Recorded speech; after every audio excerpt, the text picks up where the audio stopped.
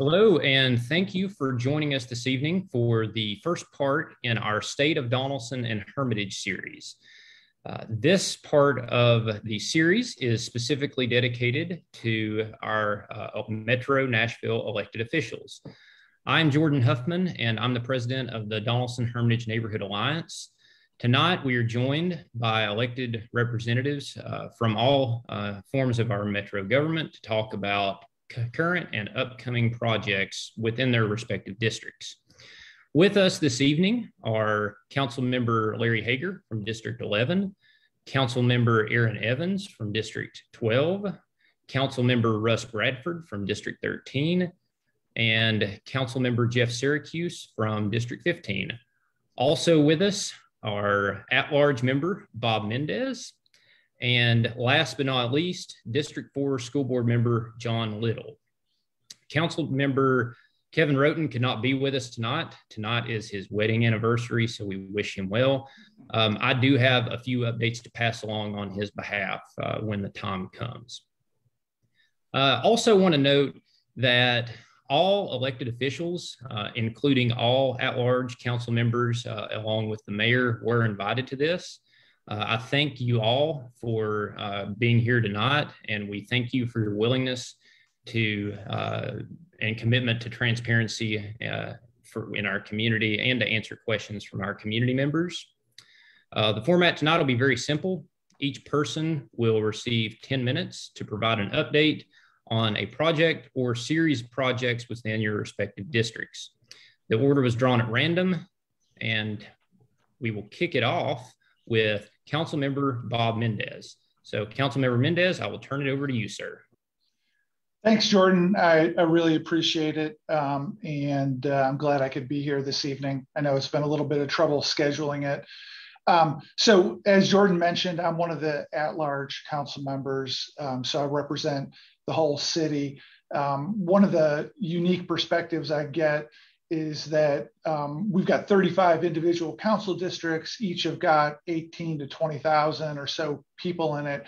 And I usually uh, don't hear much from districts where the council members are doing a good job. And then there's always some council districts I hear from uh, more frequently. And I'm, uh, I'm really happy to report that I never hear from the districts um, in y'all's part of the city uh, about the council members being asleep at the wheel or not doing their job or not being responsive. And um, uh, at least for um, uh, one of the folks here, uh, um, their predecessor was was somebody I ended up hearing from their district a lot. Um, so I really appreciate it when uh, district council members are doing a great job, and and I um, don't get um, a lot of the day-to-day phone calls of things that people care a lot about about livability. So I'm going to focus on um, some big big picture things that impact the entire city um, that have been in the news and will continue to be in the news.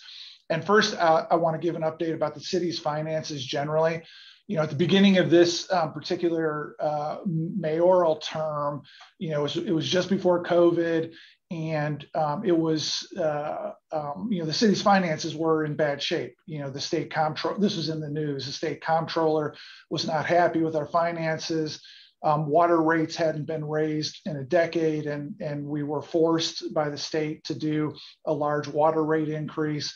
That was followed by covid and then a property tax rate increase and the good news is that after what was years of neglect, I think, in updating um, how the city's finances worked, um, the city's finances are on the road to being in good shape. It took a bunch of years, four, five, six years to, to get the city into the spot where it was in 2019.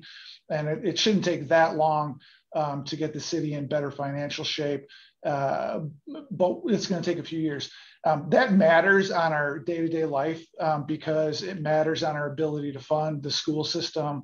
It matters on our ability to build sidewalks, fix roads, and again, we're we're headed to a better place, um, and um, and and that's taken a lot of work from the council members and and the mayor's office um, to work together for that.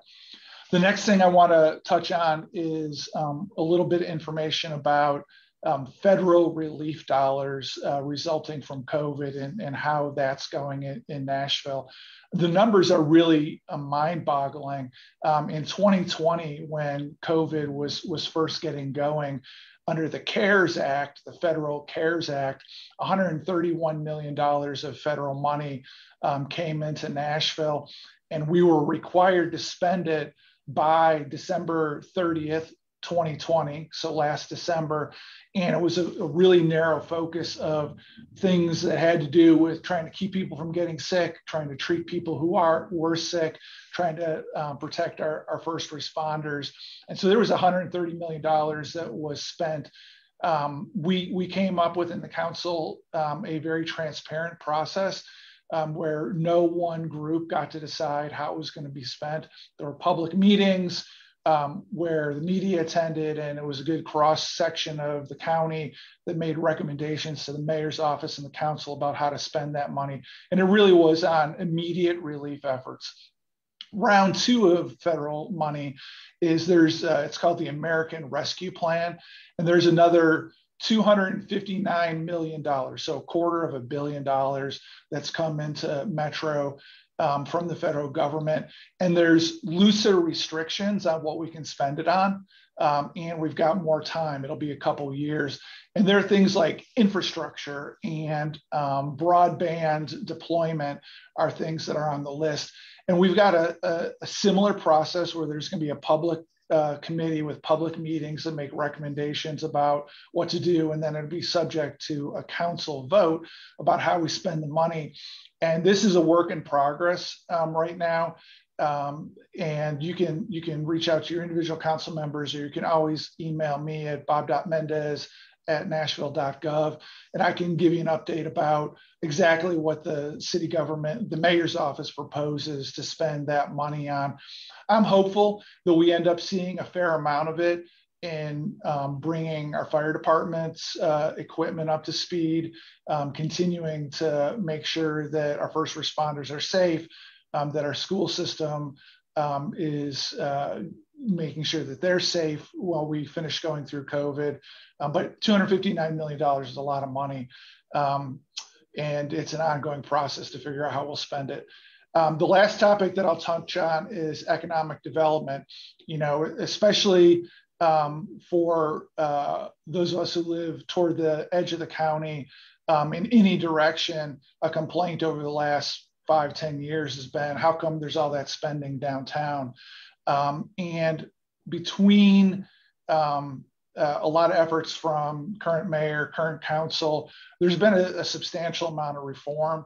And I can, I can report that um, the sort of tax increment financing that benefited the you know two square miles of downtown almost exclusively is pretty much dead at this point.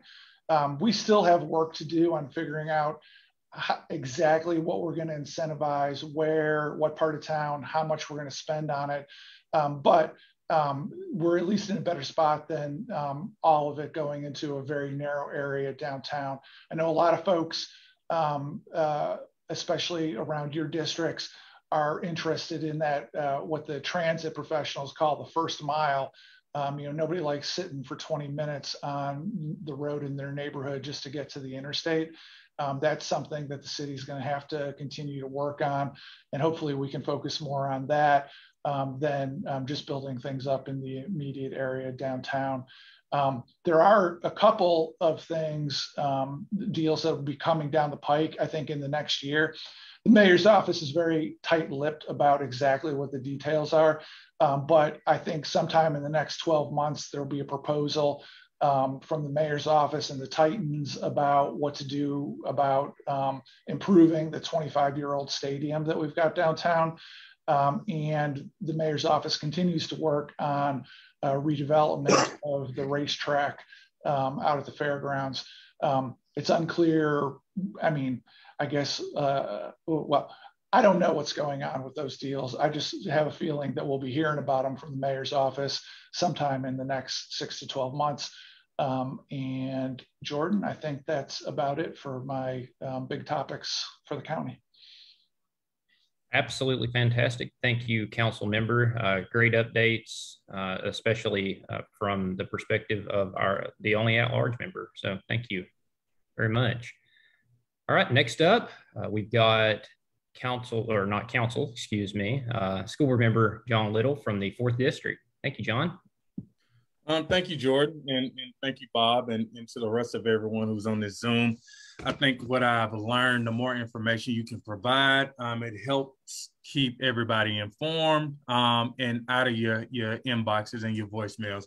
But as Jordan introduced, my name is John Little, and I represent School Board District 4 that covers Donelson, Hermitage, and Old Hickory it's solely in the McGavock cluster. Um, and so we have the elementaries, elementaries like Ruby Major, um, McGavock, Stanford, Montessori, Pennington, Hickman, and so on. We have the middle schools, we have the DuPonts, um, Hadley and Tyler, we have Two Rivers, we have Strive, um, we have a few more, but we have one high school and it's McGavock High.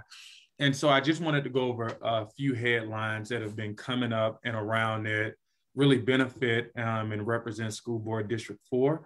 Um, and so, one, um, we have some really awesome elementary schools um, in our district, elementary schools that are vibrant, that have been recognized academically. Um, and as we deal with COVID, um, I know I got a lot of questions around kind of protocol, got a lot of questions around masks, but as I can see, parents are sending their kids back to school.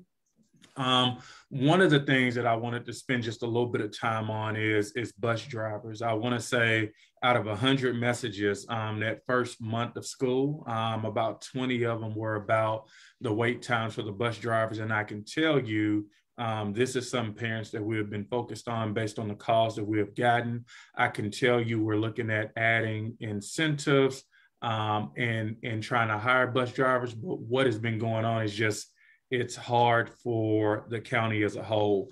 Um, and so that's something that we're working on.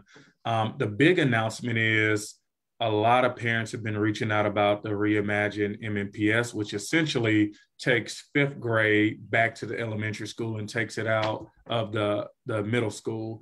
And I'll tell you, parents from the elementaries, Ruby, Ruby Major, Andrew Jackson, but definitely have gotten a lot of emails and calls from Stanford Montessori that the McGavock cluster is set um, to be reimagined, where Stanford Montessori and the rest of the elementary schools are going to be able to keep their kids at fifth graders in elementary, which is a, a pretty big deal.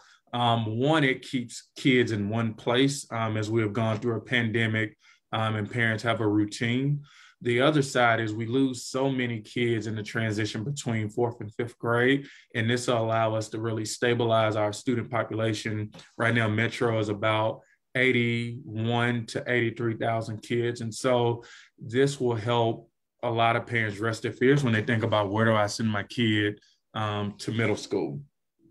Um, the last thing I'll talk about, and I'll add on kind of from Councilman Bob Mendes, I think transparency is really important.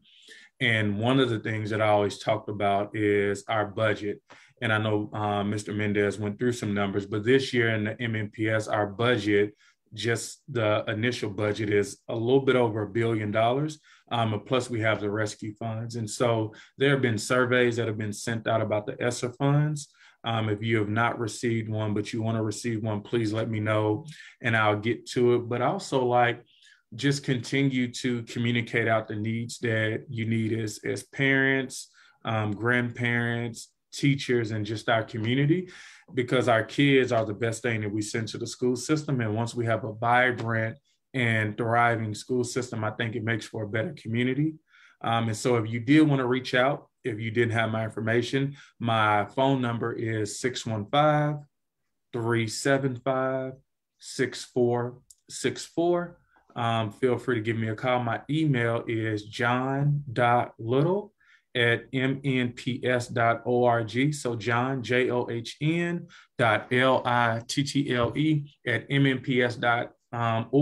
Or feel free to look me up on Twitter, Facebook, and Instagram, which you can simply find me at Little for Schools. Um, thank you, Donelson Hermitage, for even allowing me to talk about MNPS. The last time I was on here was back in October, November. There was a ton of engagement. So I'm always grateful for the leadership um, that you guys bring to the table and helping us get the word out about the many initiatives that we have in Donelson, Hermitage, and Old Hickory. Yes, sir. And we appreciate you being here. Uh, thanks for the update uh, on uh, our school system. It's definitely a lot of questions right now. So appreciate you providing some answers. Yep, I'll jump in. All right. Next up, we have Council Member Erin Evans, and I believe, Erin, that you've got a slideshow too. Yes. Can you see my presentation file? Mm-hmm. You're yep. putting okay. us to shame, Council Lady. Per- perfect. Listen, I, I, have to keep myself on track, so I'm going to get started and, and be as efficient as possible. Um, so thank you all for joining us here this evening. If you are a District 12 resident, I do have a virtual community meeting tonight. So consider this the appetizer for the full deep dive that we will do tomorrow evening at six o'clock. Um, wanted to hit some highlights just of some things that I have been uh, discussing with residents. I do send out a newsletter every Monday morning at 8:30 a.m. If you'd like to sign up, you can go to erinfor12.com uh, and I'll be able to send you uh, my newsletter every week. But I'm going to hit some highlights on development. Want to talk about the infamous shipping container.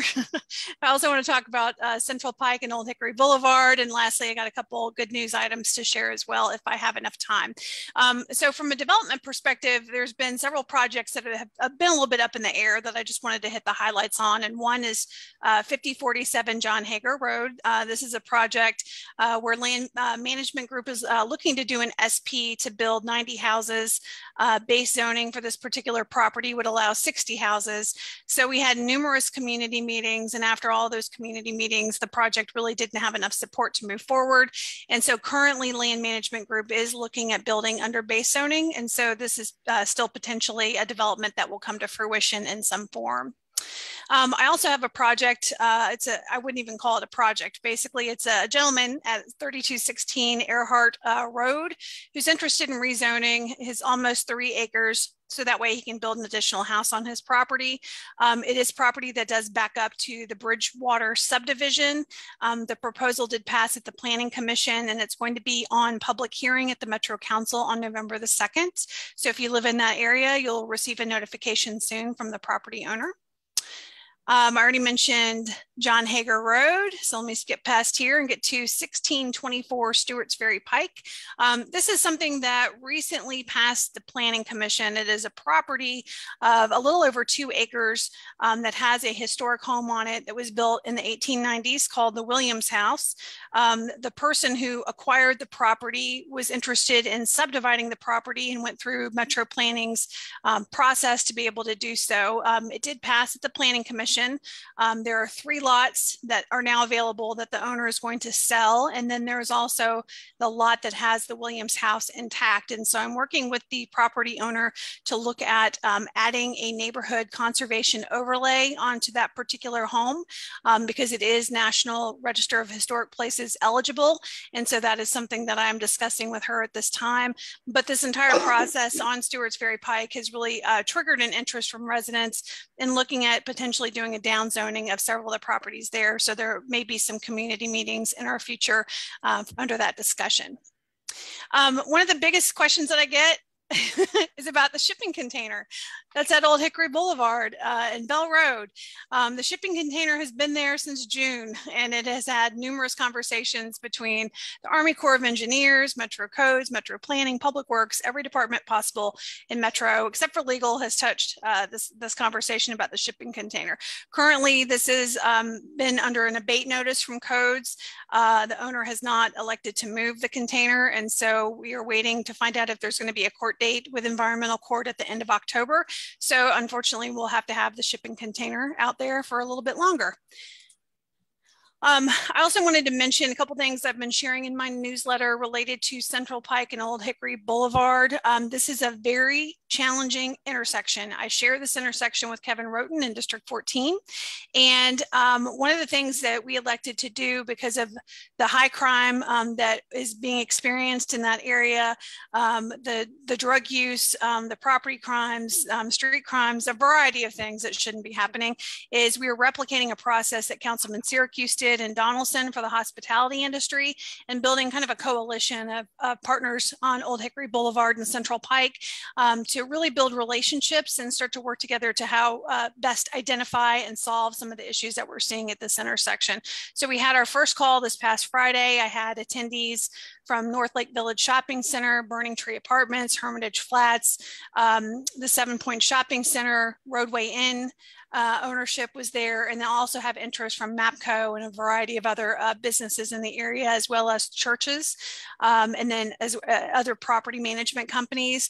And so we're going to continue to have these calls uh, once a month, uh, and then I'll have some uh, ongoing conversation with those property owners and with MNPD. So I appreciate our precinct um, leadership uh, including Commander Hickerson and Sergeant uh, Weaver for participating and, and, being willing to partner on this initiative as we move forward.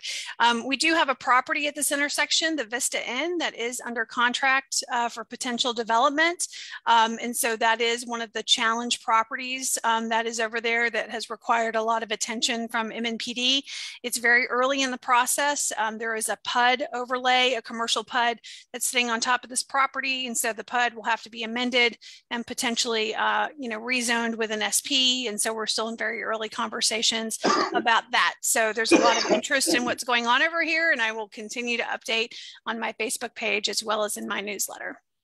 Um, a couple items of good news that I wanted to mention. First of all, we do did have a couple of District 12 residents that were appointed to boards and commissions over the last couple of months. We had Mr. Alex Lorenz, who was uh, appointed to the Farmers Market Board. We also had Ms. Teresa Driver, who was report, uh, appointed to the CATV Special Committee. So I congratulate them. And if anybody else is interested in serving on a board or commission with Metro, feel free to email me and I'm happy to put you in touch. Um, in addition, most recent news, um, our local firefighters union, the IAFF Local uh, 140, had a recent election, and District 12 resident Mr. Danny Yates um, has become president. And so he will be very visible at council meetings and working with the council on initiatives related to um, interest for the firefighters. So I'd like to congratulate him for that as well. Um, Ruby Major Elementary School was recognized as a PTA School of Excellence. I was able to attend their celebration last week, and it was uh, great to see so many engaged parents and partners kind of working together uh, to make their school as excellent as possible.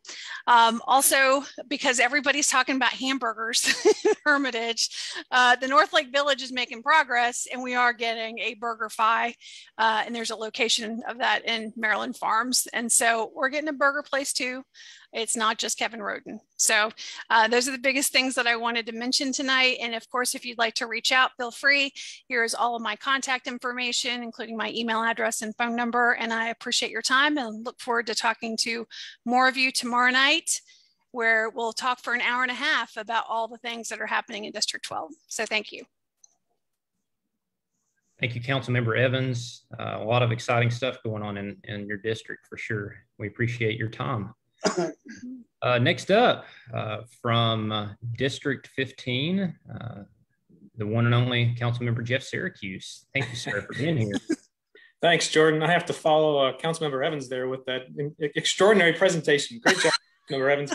Um, I'm going to be talking about hamburgers in just a second as well. But um, uh, first, from a broad perspective, and you probably heard me say this before, I divide the, the district really up into three parts as far as managing it. Uh, the, the, first section we'll talk about will go from south to north.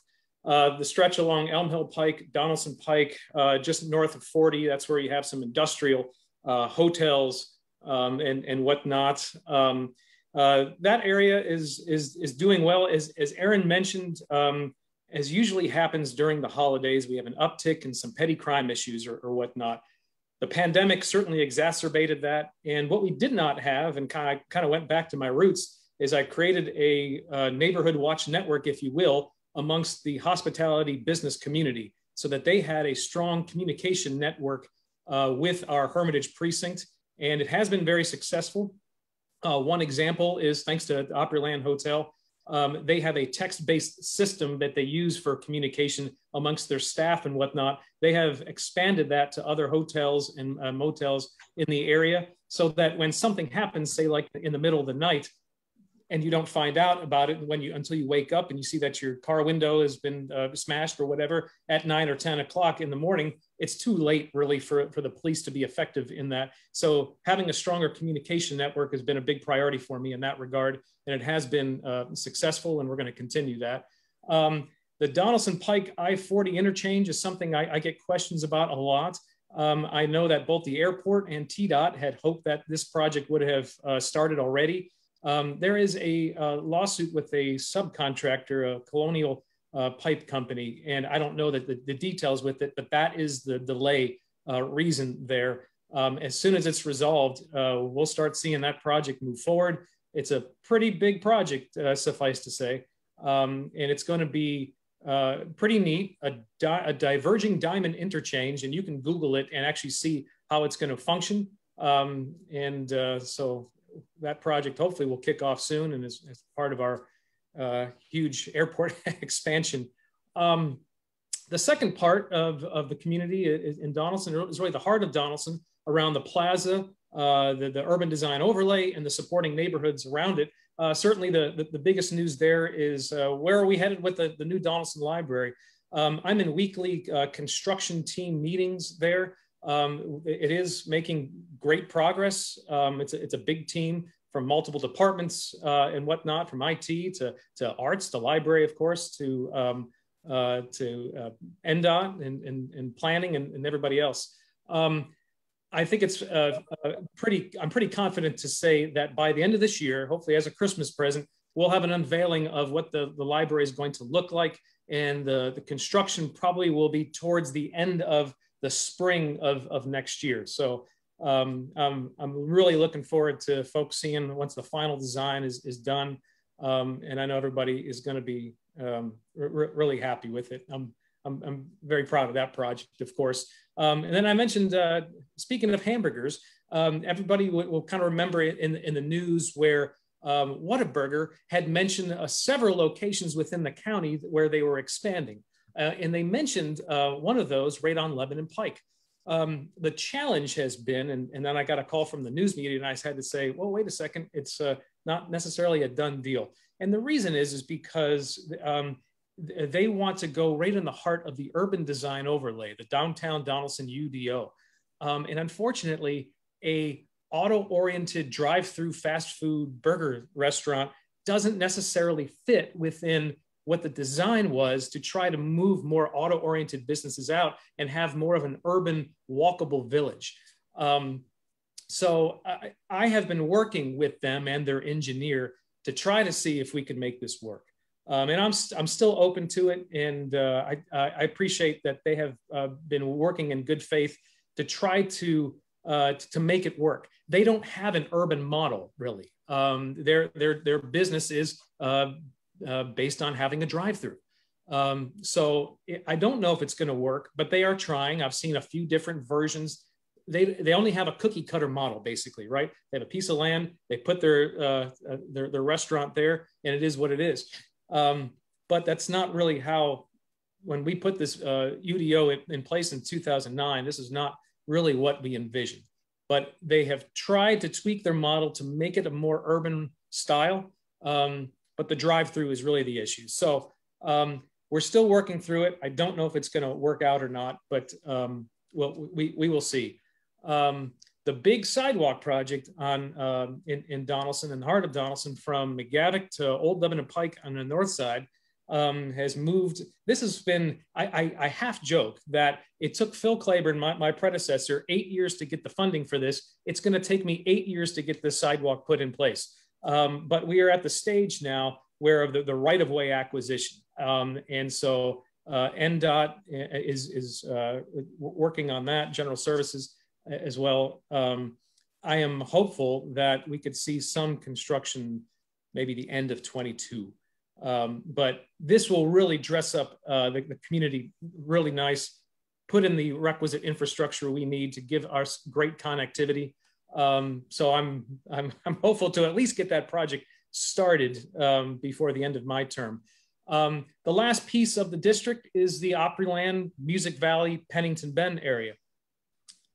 I have uh, really not approved of any zone change in Pennington Bend over the last two and a half, three years. And the reason is, is because we are starting to put 10 pounds of potatoes in a five pound sack out there. Um, there's only so much infrastructure out there, and there's only so much more that you can do to improve uh, Pennington Bend Road, which is uh, very much a narrow two lane country road, if you will.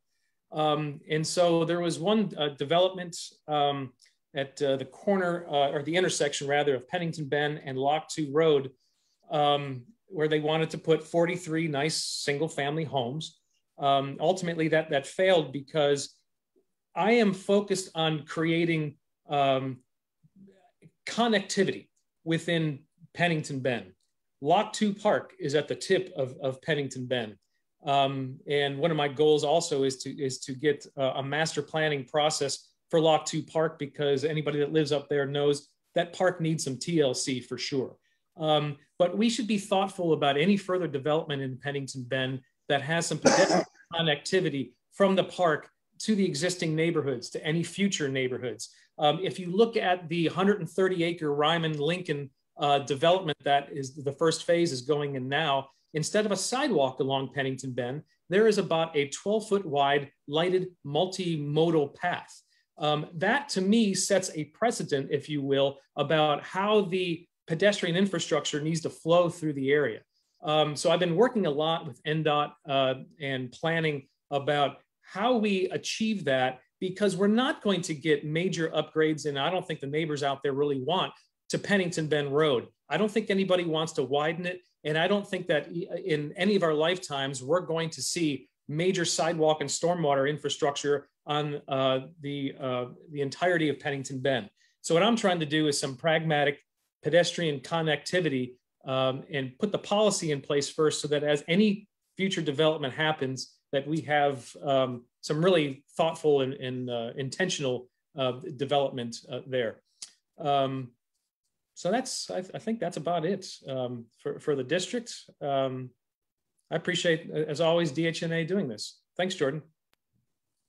Yeah, Councilmember Syracuse, thanks for the great update. A lot of exciting stuff going on in your district. Uh, at the beginning of the session tonight, I had mentioned that Councilmember Rhoten is out due to his wedding anniversary. Uh, he did pass along a few updates that just wanted to ensure that we were able to cover here as well. Um, so, in no particular order, uh, just wanted to talk about a few of these.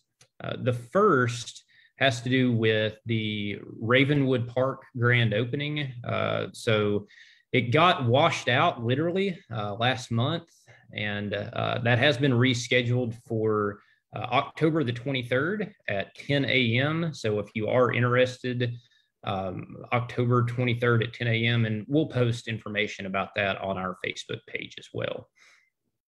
Um, also, uh, wanted to pass along that the new park uh, at the Hermitage Library is almost 100% complete.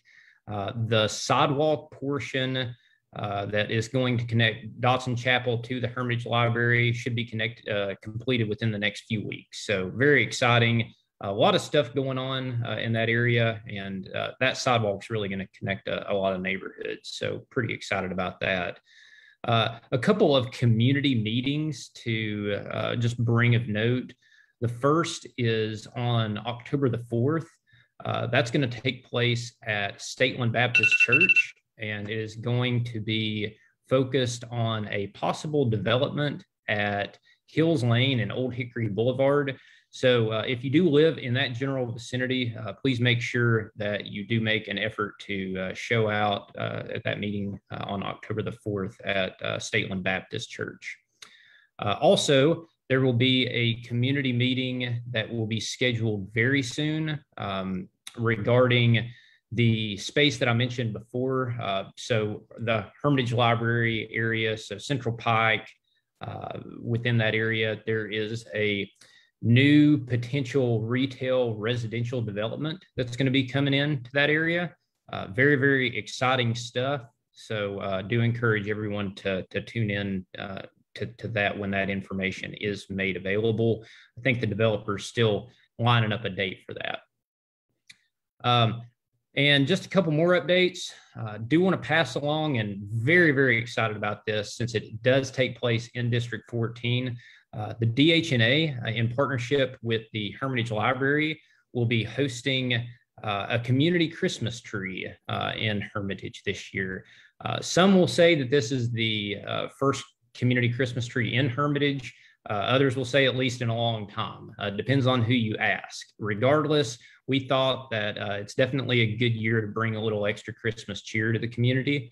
that tree lighting is going to be on December the 2nd. Uh, the lighting is going to start uh, right around 6 p.m. Uh, we're going to have some uh, fun activities for the family. So uh, definitely make an effort to come out, and more information will be coming on that as well. And last but not least, uh, not to be outdone, uh, definitely wanted to make sure that I mentioned that the Whataburger in District 14 will be finished up in November. Uh, with that, I will turn it over to Council Member Russ Bradford. Thanks, Jordan. I appreciate everybody tuning in and hearing all these wonderful updates from our amazing coalition of elected officials for the Donelson Hermitage area. Um, much like with Jeff's district, my district has uh, a few character areas. So I'm going to try and break my report down into those areas, starting with the area by the lake. So over the past year, I've been working with a developer who wanted to develop a property on Elm Hill Pike.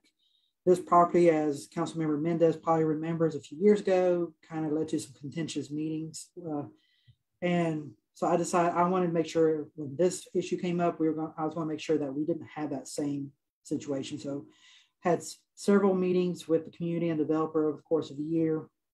And um, over the summer, the council passed the, the SP zoning for the preserve at Priest Lake. It's going to be about 33 units, a mixture of some townhomes and some single family um, in the parcel right behind the child care center. And so last um, report I received from um, Josh Stites, the developer, is they're expecting sometime after the holidays to start breaking ground um, once they get final plat approval. So that's my, that's the first major um, redevelopment in District 13 since Woodland Point went in about 20 years ago. So there are there's a lot of interest in the area. I've got two more um, parcels that I've had community meetings on or will be having community meetings on um, along the Pulley Road area. And then another developer has reached out about um, property on Massman just south of I-40 and Elm Pike, um, wanting to do townhomes, single family homes on about eight acres out there. So stay tuned um, to my newsletters and to social media for updates on those community meetings and how those parcels are coming along. Um, I've been working with a local resident and business owner to see if we can open up a coffee shop or some um, cafe type business on the pre in the Priest Point Shopping Center by the lake to try and provide some more family friendly um, spaces in a shopping center. Um, so far, no, no big announcements or anything moving there other than just preliminary talks. Um, with that area, we've we've had some issues with public safety. It's been going on for a few years, but seems like it's gotten worse over time. So I've been having weekly conversations with our um, police staff at Hermitage Precinct discussing you know what's going on, what actions are being taken. Uh, my conversations with Commander Hickerson, they are well aware of the situation in the area. They have several um, operations that they're working on. And I'm also looking at doing similar to what Councilmember Syracuse and Evans have done and will be doing, um, working with the police and the business owners to form a, a similar coalition, try and help uh, everybody watch each other's back and to try and do what we can to bring the area you know under control and having conversations about particular businesses and what we can do to get them shut down. Um, that takes up this side. Moving on to the airport area of the district. Jeff kind of touched on the progress of the Donelson Pike interchange. I know there's been some conversations in the past about the Harding Pike interchange. From all the conversations I've had with TDOT and the understanding I have is that this Donelson Pike interchange is taking the place of the Harding Pike interchange. So Harding Pike is not going to happen. Um, it's going, now going to be the Donelson Pike project. Also at the airport, just recently they broke ground on the new Hilton branded uh, hotel that will go in the middle of their parking garage that will be across from their new admin complex. So looking forward to having a Hilton hotel in the district and the and just having that hotel at the airport, which kind of puts our airport on par with some of the the larger airports in the country. So excited about the growth that we're seeing at the airport. Um, as more comes comes along on that, I'll keep make sure everybody's updated. And the last area of the district is the Murfreesboro Pike area. I've been having conversations with um, the library um, department and the mayor's office and finance, trying to move up the timeline on getting a library for our district. Um, the library program district has identified the Murfreesboro Pike Briley Parkway area as a, a area that's underserved by libraries, and they really want to move into that area.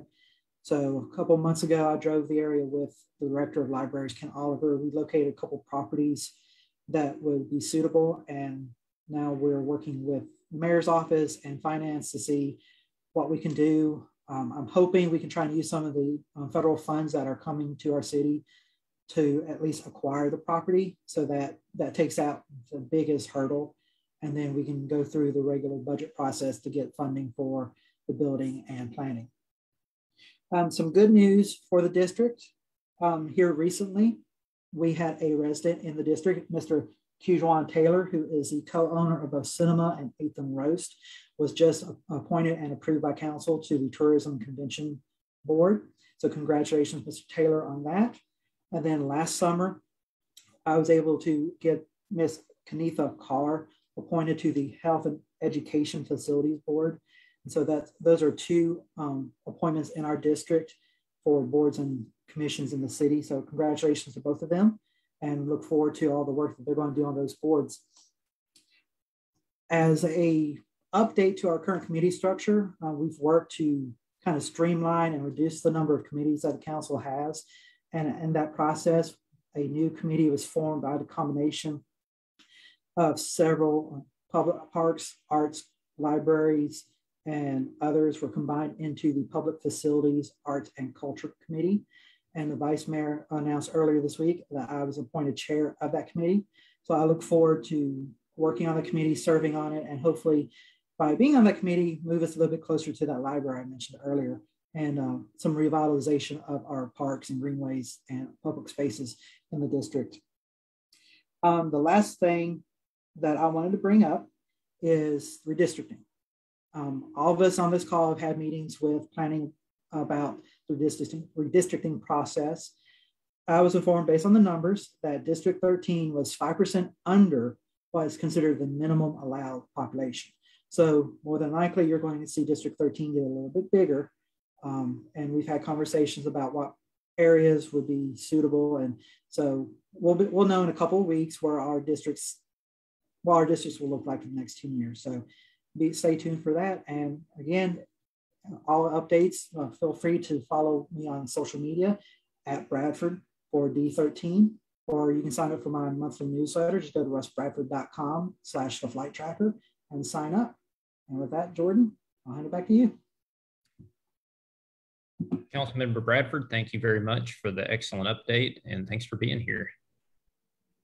Okay, uh, last but not least, from District 11, we've got Council Member Larry Hagar with us. Council Member, I'll turn it over to you. Thank you, sir. Thank you very much. Thank you, for Jordan. I appreciate being here and I appreciate all the council members being on here, including John Little, our uh, school board representative. And uh, he may not know it, but I'm a graduate of McGavock High School long time ago. I'm not going to go back that far, but uh, that school has stood the test of time for a long time. Excellent school, gave me a good education. Um, District 11, as you know, that covers most all of Old Hickory and part of Hermitage. Um, my name's Larry Hagar, and this will be my seventh year on the council since I took up part of Darren Jernigan's term for a little over a year. Um, but I'll start at the bridge that goes over the Madison. That's where my district starts. Uh, that's still more of an industrial area over there. I do have a large townhouse development over there called Robinson Flats. Uh, it's 260 something townhouses on 38, 40 acres of land that was zoned industrial and uh, had meetings about it a year or two ago. Uh, and everybody would rather it been zoned residential, put townhouses in there. So that's a pretty high density development in that area. Um, but they're about, uh, I'm to say 35, 40% completed at this time. And they're just getting the permits as they sell, and they're selling pretty fast. So uh, they're very affordable. They're very nice looking townhouses. You ever drive that way over toward Madison, you'll see them on the right over there. Uh, and they've done very well. Um, I did get a message the other day. Uh, we've been working to try to get a new community center in Old Hickory. Uh, the community center there was built by DuPont back in the 60s. So I have probably the oldest community center in Nashville. It's not ADA compatible. So for years, I've been working on that. So right now, uh, we've got the budget this year. We're starting on the plans. Tim Netsch with Parks uh, staying in contact with me. And then hopefully the next um, capital improvement budget is going to be funded uh, for a new community center back there off on Donelson Avenue in Hadley. And that part of that used to belong to Metro Water that was around the community center. And I got them to give it up once we shut down the water treatment plant back there. So that park is going to encompass about 18, 19 acres of land. So it's going to pretty, be a pretty nice sized park. It's going to have walking trails in the back. And I'm going to try to work with um, Centara. They own the land next to it that goes all the way down back to the lake and I'm gonna try to work with them maybe to have a walking trail that would go to the lake where kids could go back there and fish at Old Hickory Lake. Uh, so that's that's going to be an endeavor to do that, but I'm going to work toward that end. Uh, as far as developments on Robinson Road, which is Old Hickory Boulevard, uh, I got some small townhouse developments. I've had a few call that uh, want to put higher density in that area. Uh, planning commission, a lot of times I'll say, well, you go through planning commission. And I had one the other day, they came back and said they thought it was too dense, which I agreed with them. So I've told the developer to go back to the drawing board, uh, make it less dense. I do not have a problem with townhouses as long as I try to keep them on the main thoroughfares instead of back in the residential neighborhoods. Um, as a lot of a lot of you know, I've downzoned about six or seven neighborhoods or put a contextual overlay on them.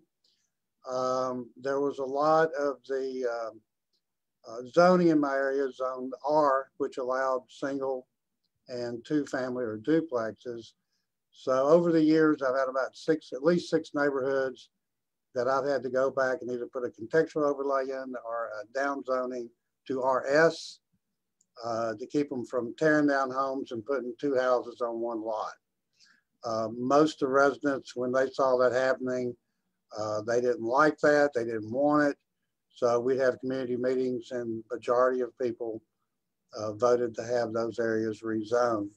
Um, some other areas in Lakewood, I've got one guy that's been buying up a lot of property in Lakewood. His plans is eventually to redevelop that whole area um, because there are some of the buildings in there have been there probably over 60 years that are pretty dilapidated.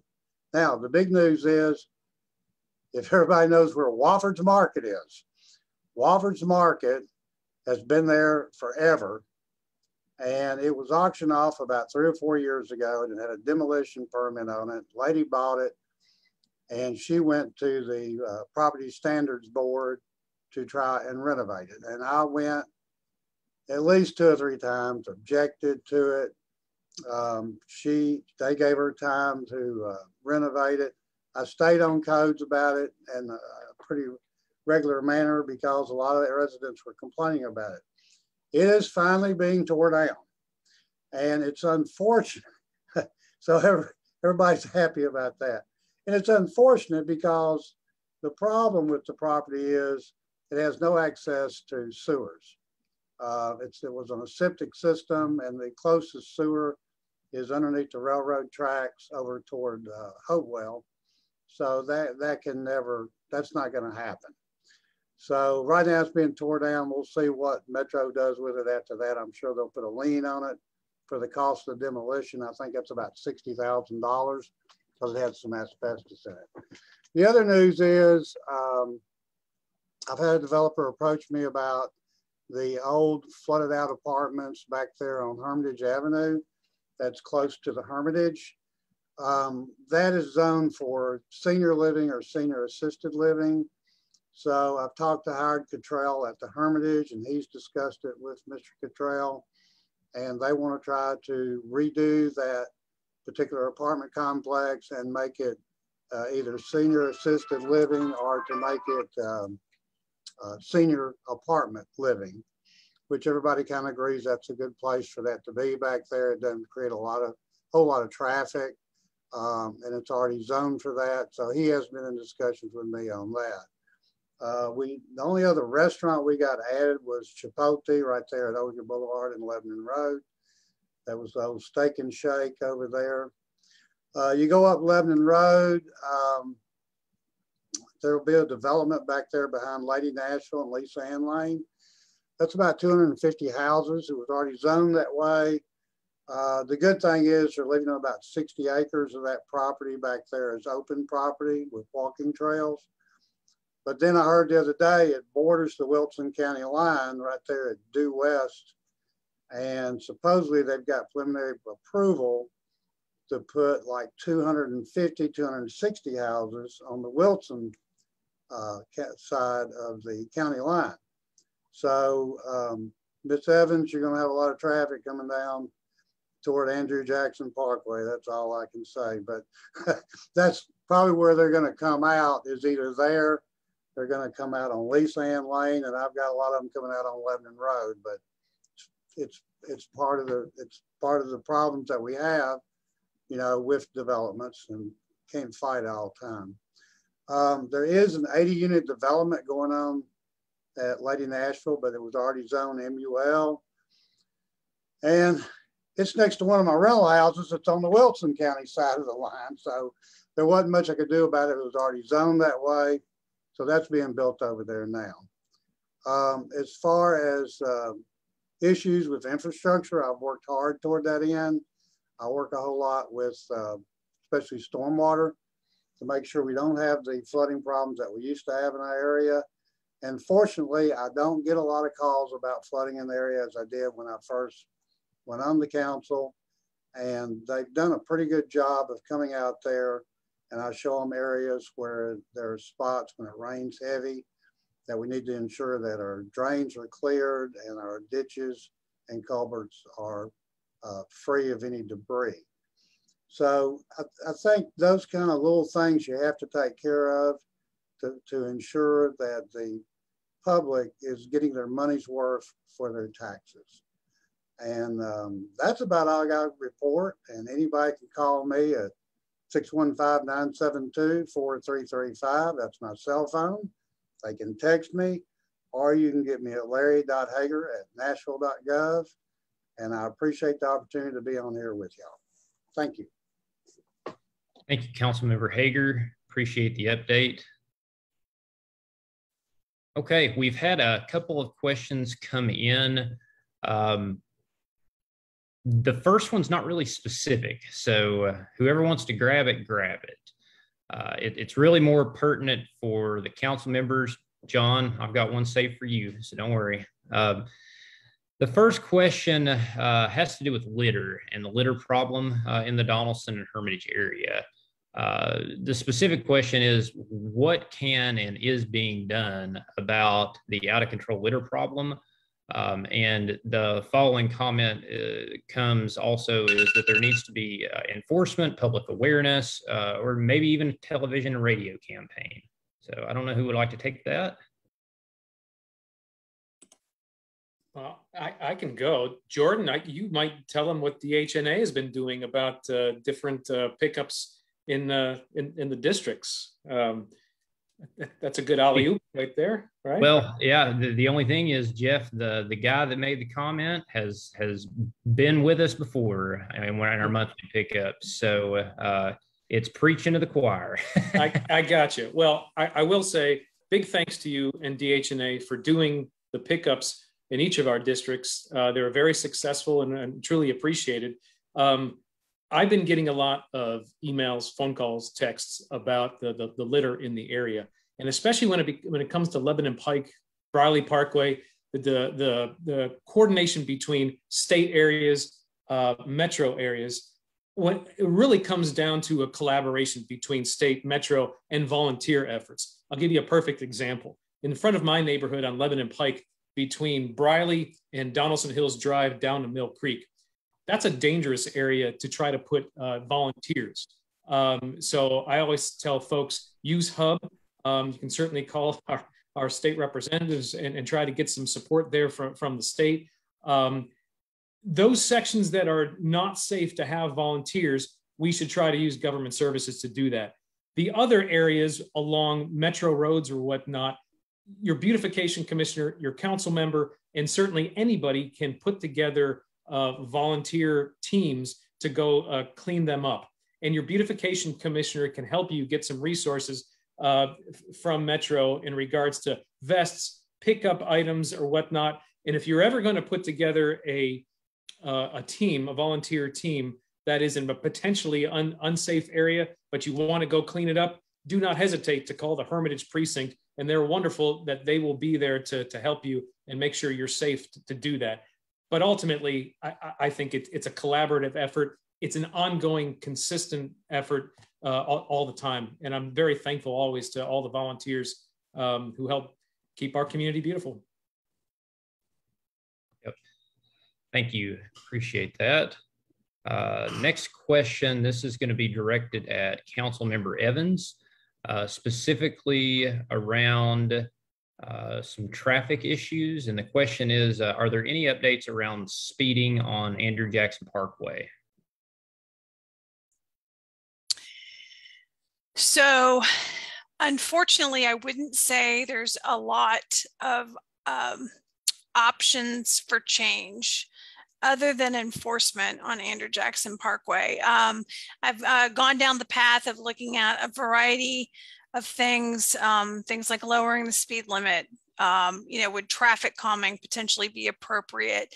Um, and ultimately, all of those things, uh, avenues were, were not ones that were feasible um, because it's considered, you know, a major road. And the concern, of course, is about impeding first responders, especially in particular, since we have, you know, the fire station um, on Andrew Jackson Parkway.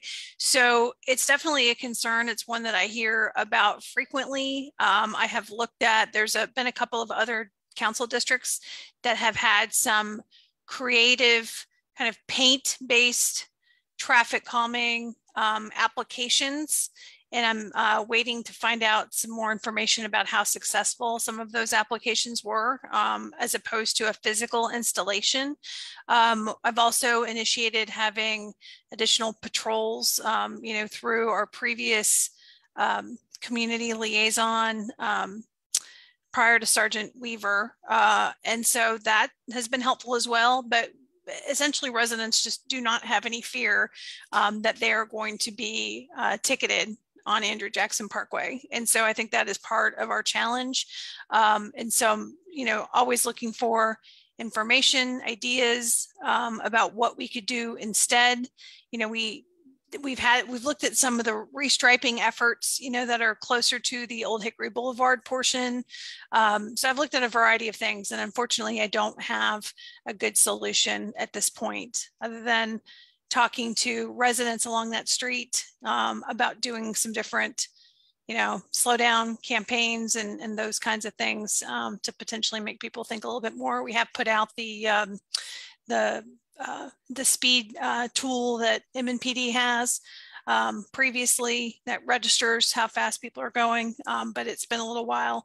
So anyway, I wish I had a better, I wish I had a litter solution, like everybody can volunteer and cars will slow down, but I don't have one, unfortunately. Okay, thank you very much. Mm-hmm. Uh, next question uh, directed at Mr. Little uh, comes from one of our members. Uh, the question is around a recent social media trend that is causing school bathrooms to be vandalized.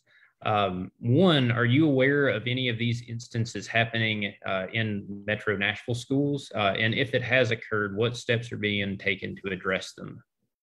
Yeah, can you hear me okay, Mr. Huffman? Yeah, I, I have not heard of that one. I'll tell you the the most things that come by my through my email or through my phone call is like COVID 19 protocols. Um, just recently, parents are calling if they're exposed to a kid uh, that had COVID, they have to quarantine for 10 days. And it's really driving a few parents batty who have literally had their kids on the protocol um, two or three times, which that's a whole month if it's three times. Um, other than that, you know, we talked about some of the things that are happening at McGavock, some of the positive things, some of the things that we can be doing better. But the bathrooms, no. Um, I heard Councilman Hagar talk about he he graduated from McGavock. Um, I've spoke with Mr. Syracuse, and I think it's almost time to really look at like how do we not renovate, but how do we like fully redevelop McGavock High. Um, just listening to teachers and some of the community members, that's another thing that's kind of been on um, the mind of parents and community members in District 4. Great, thank you.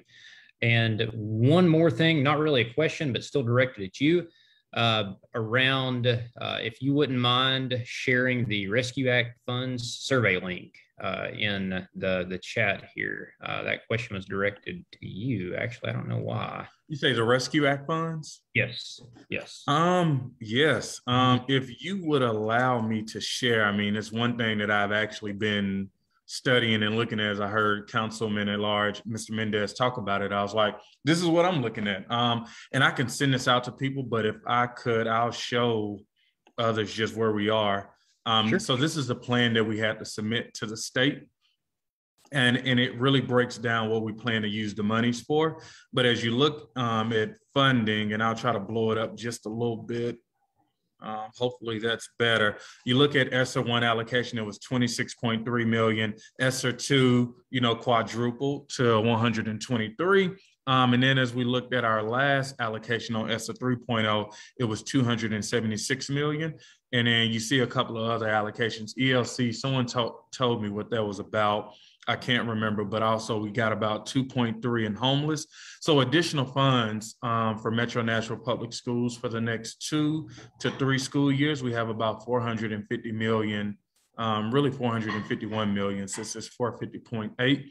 And so this is something that I just continue to talk to the district about. They have sent out surveys, but also listening to parents, listening to community members on how we best repurpose the money to best serve our students. Fantastic. Thank you, sir. Uh, let's see, next question. I'm um, going to hand this one off to uh, Council Member Bradford. Um, and it's around a mask mandate. Uh, the person indicates that they saw you on the news talking about it. Um, if a mask mandate is passed at the next council meeting, how long will it be in effect for and uh, will it be enforced? I appreciate that question. So two of the things, those, both those um, questions that you asked have been brought up as concerns about the current mandate or current legislation as it's written. So as it's written, there does not appear to be any type of end date to it. It just is worded to sound like any time that there is a health emergency. So I'm going to, at the next council meeting, I'm going to have a discussion with the chief sponsor of the bill to see what we can do on that. As far as the enforcement, we've been told by MNPD that it's not enforceable because it would not be a criminal, it'd just be a civil. Um, so there's going to be that. But the biggest thing for the legislation is there are some businesses that, you know, they would like to ha- be able to, enforce a, a mandate inside their own businesses, but would rather have a citywide mandate to kind of fall back on. So that is one thing that this bill would allow is just allow individual businesses who want to have the mandate be able to enforce it. And at the end of the day, um, this during this whole pandemic, that's really how we should have been handling this. Is it's the businesses that are the ones that are on the front line of this, and we can have the mandate. We can ask MNPD to come out there, but we already know MNPD's understaffed. And last summer they concentrated purely on downtown. But it's it's the businesses that are going to be the real game changer on this. And if anything we can do to allow these businesses to have that extra comfort in enforcing their own policies, then it's a good thing. And hey, Jordan. Yes, sir. Quick, I can add to that. This is Larry sure. Hagar. Um, I just got an AG opinion came in today, and I'm letting legal look at that now. Um, Council Member Mendes may have seen it. I don't know, but it's an AG opinion about the mask mandates and who can enact the mask mandates. So I sent it over to legal, and hopefully I'll have a definitive answer before the next meeting as to who can enact and pass the mask mandates in each particular county. So uh, based on what I'm reading from the AG opinion, it appears that the health department is the only one and the mayor can do it under special ordinances or statutes. So I'll have more information on that before the next meeting though. Thanks. Great, thank you. Okay, let's see. Uh, looks like we've got one more question. Uh, I'm going to direct this one to Council Member Mendes. Uh, and it's a clarification uh, to where we currently are in the uh, LPR process. um, so LPRs are uh, license plate readers. Um, and um, this is one of these things that every once in a while the council gets uh, pretty bogged down um, because the community has uh, different opinions about whether license plate readers are a good idea or a bad idea. And um, I'd say out of 40 council members, there's probably about mm, 15 different views about how exactly we should go about license plate readers. And um, so we don't really have consensus. And I, I, would say where we are right now is um, that we we had a period about a year ago where there were a couple competing bills. Um, one would liberally allow license plate readers to, um, and the argument is to cut down on crime, uh, try to stop drag racing. And then uh, a competing bill that would just minimally allow license plate readers in order to um, have maximum um, cutting down on a surveillance state. So we're not all uh, being able to being to get located full time all the time. And so we we had two competing bills. Um, it was a draw in the council. Nobody could pass anything, and so we decided to think about it for a while. We had a bunch of meetings, um, and uh, I would say we're and we've gone through that cycle a couple times now. And I would say right now we're in the um, let's study it for a while um, phase. And it's not clear right now that there is going to be consensus to pass anything, um, whether it's uh, the very liberal, let's allow them everywhere, or just barely um, allow them in a couple places. Um, a lot of times when we get in one of these cycles, sooner or later we do reach a consensus. Um, the fact is that we've got um, some people, a lot of people in the community, um, uh, very aggressively talking about we don't need this to be a surveillance state where anybody can be located at any point anywhere in the county. On the other hand, we've got neighborhoods that legitimately want to know who's coming in and out of the neighborhoods to try to fight um, crime and cut down on stolen cars and break-ins. And we're, we're, you know, so far trying to find a good balance between the two, but we're not there yet. Awesome. Okay. Thank you for the update. Appreciate it. Uh, we did have a couple more questions come in. Well, one one comment and one question. Uh, I'll direct the question first to Councilmember Syracuse. Uh, specifically, uh, is there anything? Um, let's see. is there anything in the world for the land where the old Kmart was other than a big parking lot?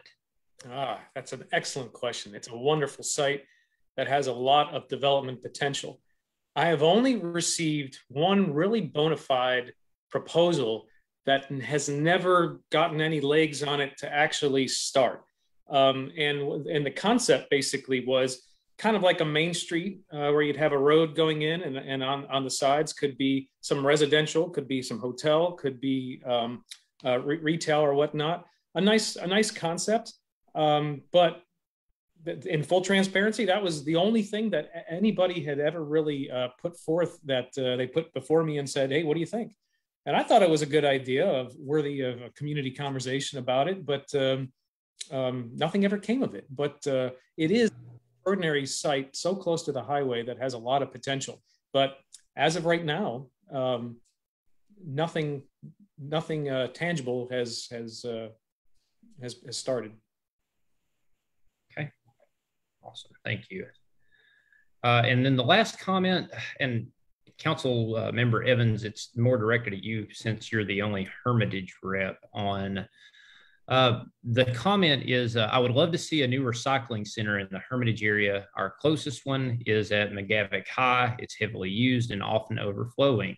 Um, anything you can provide uh, to uh, allow a new recycling center uh, would be greatly appreciated. So this is a one I have a love hate relationship with. Um, the love side is I personally am a recycler and uh, invested in recycling in all ways at home.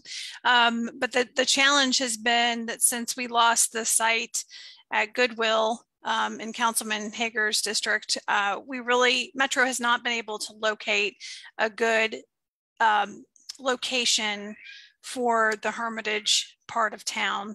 Uh, we have the Lakewood site, you know, that's accessible to all of us, and then the McGavock site.